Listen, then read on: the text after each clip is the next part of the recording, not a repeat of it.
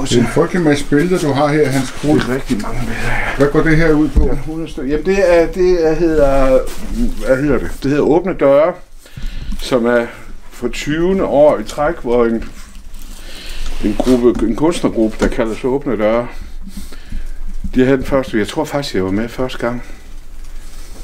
Og så har jeg ikke været med siden, og så spurgte de så mig, om jeg ville jeg er ikke medlem af gruppen faktisk. Jeg ved ikke, hvordan det fungerer helt. Men i hvert fald så laver de en gang om året, så laver de øh, udstilling på, på værkstederne, på de kunstnere, som nu er med. Jeg tror, det er omkring 60, hvis nok. Øh, så har de udstilling på deres værksteder rundt omkring, og så øh, kan man komme og besøge dem her i weekenden mellem 11 formiddag og 5 om eftermiddagen. Og så har jeg så, så spurgte jeg, om jeg ville være med, og det sagde jeg ja til uden at ane, hvad de andre laver.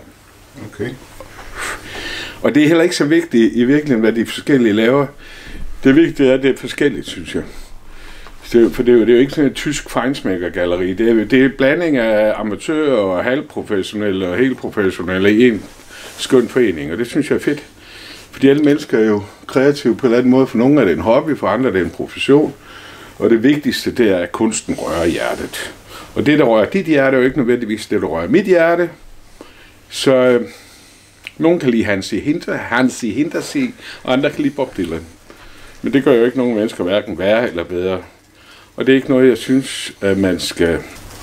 Det er utilgiveligt ikke at kunne lide kunst. Der er simpelthen... Det er der ingen undskyldning for. Så jeg vil simpelthen ikke sige undskyld på kunstens vegne, for det vil være utilgiveligt.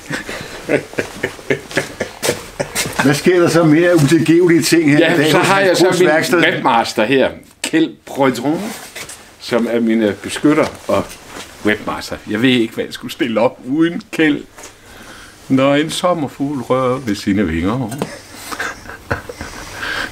Er der Når en sommerfugl rører ved sig selv. er der digterblæsning i dag kl. Ja, det tror jeg nok kl. 15. Ole Malin. Og jeg tror også, at Jan Moral vil komme i dag eller i morgen og læse digte op på et tidspunkt. Øh, og Tejs, min yndlingsbonussøn, han, øh, han spiller Hvad spiller han på? Han spiller på dobro og, og på, øh, hvad hedder det, øh, indisk sitar. Mm-hmm. Øh, og så er det uden, så kan du se, du har, har du, kan vi lige prøve at gå udenfor. Udsigten, den kører jo her, sådan her, igennem lokalet, og så over i kælderen. Kan du gå derover først?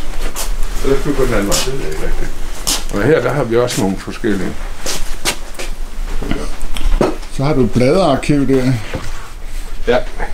Den der, den har jeg lavet efter en skitse af min oldefar. Her der har jeg brugt faktisk en linoleumsnit, jeg har lavet en gang. Øh, for mange år siden. Ja, det var jo fristende at komme ud og kigge.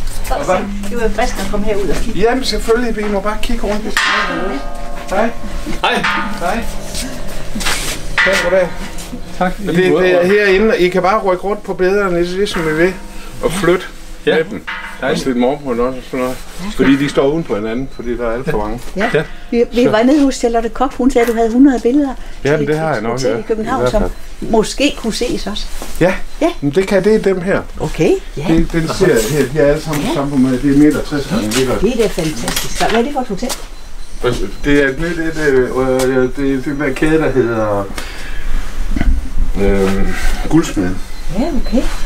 Øh, så skal det være et på hver værelse. Ja, det var da fornemt at- få lov til det.